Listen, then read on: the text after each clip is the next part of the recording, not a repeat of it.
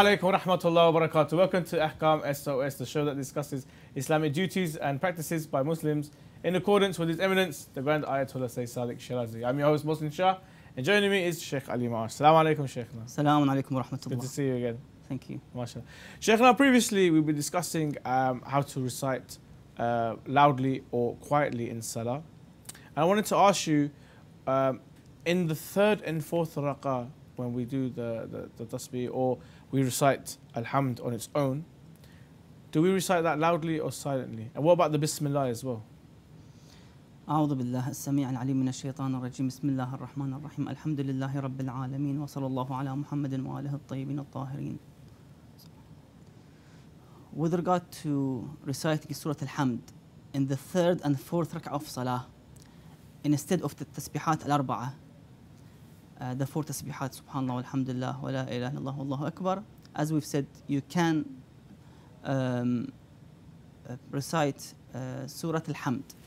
However, you recite Surah Al-Hamd, number one, uh, silently, quietly, and also the Basmala, the Bismillah that you say to start the surah with, the Sayyid says as a precaution, you begin um, the, um, the Bismillah as well with the Surah Al-Hamd all uh, silently. Ahsant, ahsant. Sheikhna, what if an individual uh, deliberately he recites loud or silent? Is his salah batil? As mentioned before, that we have some of the um, parts of the salah. You must, um, as a man, for example, mentioned uh, in Salat al-Subuh and uh, Maghrib and Isha, you must recite um, Surah Al-Hamd and Surah for the men uh, loud, and that's wajib and a must. So if somebody, especially those who are turned to become baligh, newly baligh, and um, um, some people who might shy to, you know, say aloud in the mosque in front of others, for example, that they try to read Salat Subuh or Maghrib Isha silently. And they must understand that this hukum is wajib and they have to say it loudly. And if not, the salah will be void and batil. You must, as a male, um, recite Surah Al-Hamd and Surah in Subuh, Maghrib and Isha uh, loud. That's important. However, if somebody um, forget to um, basically say them and, and recite them loudly, then they have to revert back straight away Okay. whenever they remember to uh, recite it loudly. So, in the middle of the hamd, in the middle of the uh, surah, you can just switch to to, uh, to raise your voice. That's it. You don't have to start the surah again? Not at all. Not at all. You don't have to go back and, and um, uh, repeat the surah again. Okay. So tha- that's fine. So it's important uh, for the youth to understand this uh, hukum that they must read uh, for the male specifically that they must read uh, these three sessions uh, with a with a loud voice. And as I said, not to scream or, or shout. That will eventually make the salah batil. But moderate, uh, loud. Ahsan Sheikhna. Sheikhna, what's the ruling if someone unintentionally uh, recites the tasbihat in the first and second rak'ah? Is their salah uh, batil? Does he have to repeat the salah all? If one recites uh, tasbihat al-arba'ah, subhanallah Alhamdulillah, wa la ilaha illallah wallahu akbar, in the first two rak'ah of the salah, in which he must have instead uh, recited alhamd and surah, if he recognizes his mistake just before going to the ruku', then he must leave the tasbihat and then uh, read again Surah Al-Hamd and Surah. So just ignore it. Again, start Al-Hamd and then Surah, and then you continue your, your praise. However, if someone reached the stage of ruku', in the ruku' he remembered that he read what uh, tasbihat arba'a in the first or second rak'ah of the salah. The salah is valid and, and it's sahih and just continue the, with your praise. That's fine. Ahsan. Sheikhna, is it the same with someone who thinks he's uh, made a mistake in his uh, dhikr, in his qira'ah, or um, maybe he's missed a word or he's missed an ayah. So, um, should he just continue or should he try to correct himself? What if he's not sure of the word that he, he pronounced? Was it correct or not? In this case, if uh, the one have doubts about if he made any mistake within the ayah, then he needs to go back and repeat the ayah and continue with the recitation. However, if this person reached, let's say, the stage of ruku' or sujood, then he doesn't have to go back and, and uh, repeat the ayah or if he thinks that he made a mistake to correct his mistake.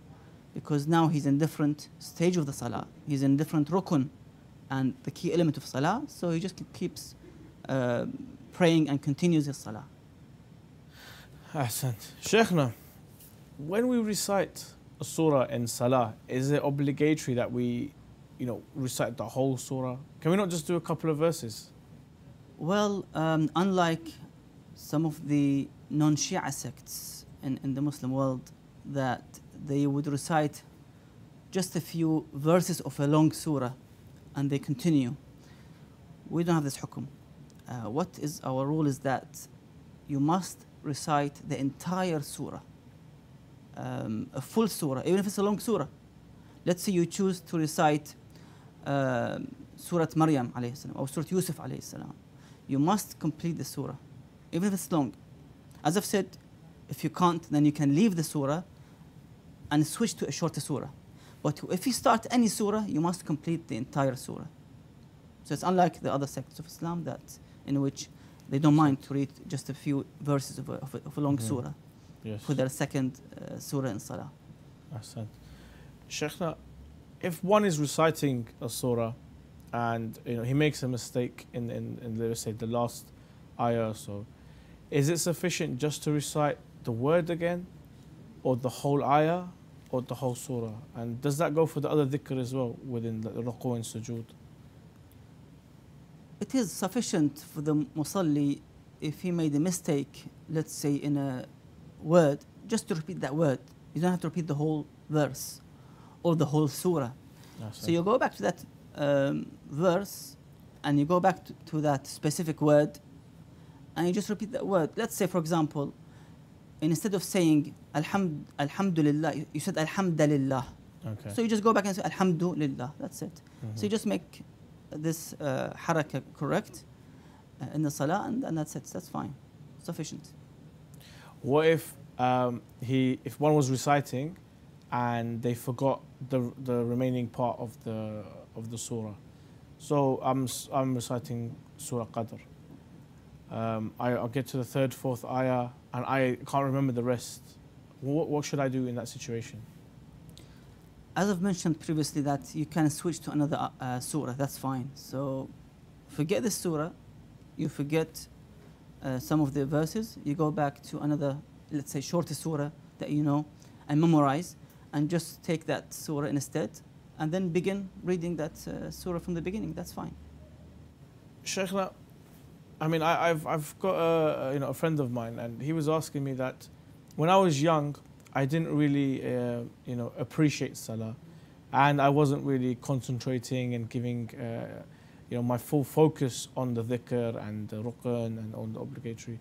I, I, I was just doing it and, and, and going on. Now I'm a lot older. I'm a lot more mature. I understand the importance of salah. I'm very very careful with my salah. Do I need to repeat those previous prayers that I did where I was a little careless or I, I paid less attention to? Well, it is not obligatory and wajib for the one to repeat his past salah. Just that he might think that, well, I may, I may have done them in, in the wrong way. What you have to repeat is the one that you're certain that they're batil. So you go back to the, uh, you know, to calculation of how many salah you had, 10, 20, 30 days Yeah. that they were batil. You know, sometimes, you know, a newly baligh, you might have heard about this, that some may never know about the ghusl of janaba, for example. So they remain in janaba for many days Hmm. and they pray and they fast. So they only have to repeat the salah in which they are certain that uh, they were batil. And uh, I mean, the rest, you don't have to worry about it because you're not certain that they are batil or not. It's just the ones that you know um, that they are batil. Ahsan.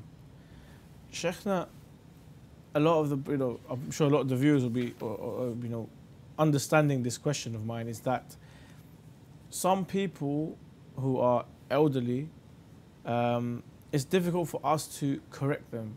Now, if we were to see them in salah doing something wrong, for example, they maybe they're doing the tashahhud wrong, or maybe they weren't reciting uh, correctly, and we know that if we go and speak to them, it's going to fall on deaf ears, as in they're not going to really listen to us. Do I have an obligation to correct that person's salah if he's elderly and if I know that he's there, there will be not much benefit? You have no um, obligation in this respect. I mean, there's no wajib for you to go and tell him, well, your tashahud is wrong, your um, is wrong, and so forth.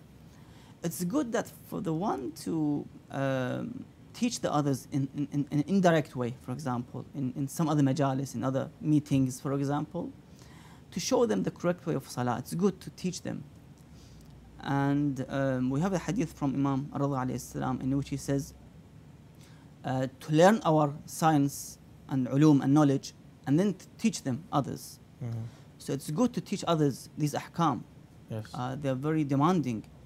But in this respect and situation, you, don't, you don't have no uh, wajib obligation to tell them that, you know, your salah is wrong or batil or you have to repeat it again and so forth. Oh, Ahsan, Ahsan. Quite, quite mature and quite, you know, responsible. Um, Sheikhna, if someone has discovered that he has been, he or she has been pronouncing certain dhikr incorrectly, do they have to repeat the salah which they have been reciting incorrectly for God knows how many years? Let's say a 15 year old boy became bulugh at 13 and he's been reciting his, uh, his dhikr in ruku incorrectly. He finds out when he's 16 years old. So now he's corrected it, he understands. Now the previous ones, does he have to repeat those or not? Well, this individual is not obliged to repeat all the salah in which he read, let's say, the dhikr incorrectly. Um, in sujood, in ruku', in, in, in qira'ah, in recitation. However, he must make sure that he learns how to read from now on the correct way of recitation or dhikr or tasbih. From now on, he must learn and make sure that he doesn't make mistakes from now on. Uh, otherwise, the past is past, then that's fine. MashaAllah, Ahsan Sheikhna. Sheikhna, um, when I was at university, and uh, you know, there used to be Jama'ah prayer, and sometimes it wasn't with Shia. And after Surah Al-Hamd, they would say, Ameen. Um, is this actually allowed in the Shia school of thought? Saying Ameen um, after Surah Al-Hamd in Salah will render the Salah and uh, prayers void and batil. Okay. Um, it is not part of the dhikr in Salah. You cannot mention Mhm. it. It's not part of um, dhikr. Um, however, what we can say um, instead of Amin, which makes the Salah batil, we can say Alhamdulillah Rabbil Alameen. So when Mhm. we finish you know reading Surah Al-Hamd غير المغضوب عليهم ولا الضالين say الحمد لله رب العالمين that's mustahab Okay. that's mustahab uh, that is a dhikr that's some kind of praising Allah subhanahu wa ta'ala Yes. alhamdulillah praise be to Allah uh, the Lord of the worlds so we are actually praising Allah subhanahu wa ta'ala that's mustahab you can you can uh, say that but amin is not part of the dhikr in other words you cannot uh, say it and if you say it the salah will be batil Oh, wow. so we cannot actually say it. Yeah. MashaAllah. And when we say Alhamdulillah Rabbil Alameen, is it the same as uh, when if you recite it loud, so Alhamd loud, you say it loud. If you recite it silently, you say it silently. It's mustahab. So you can say it loudly or si- silently. It's up to you. It's mustahab. Okay. So mustahab is mustahab. So you, you have the option of silent or, or loudly. MashaAllah. Oh, ahsant. Thank you very much, Sheikh and thank you to all the viewers for joining us on this episode of Ahkam SOS. Inshallah, this episode has uh, taught you how to take care of your salah and also to pay attention to your dhikr to make sure that you don't make any mistakes and to uh, render your salah batil. Inshallah, please join us again on the next episode. Ahkam SOS. Assalamu alaikum wa rahmatullah wa barakatuh.